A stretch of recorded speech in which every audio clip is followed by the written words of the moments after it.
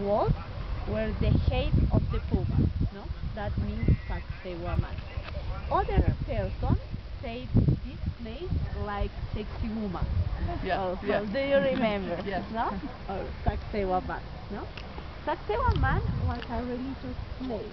The second religious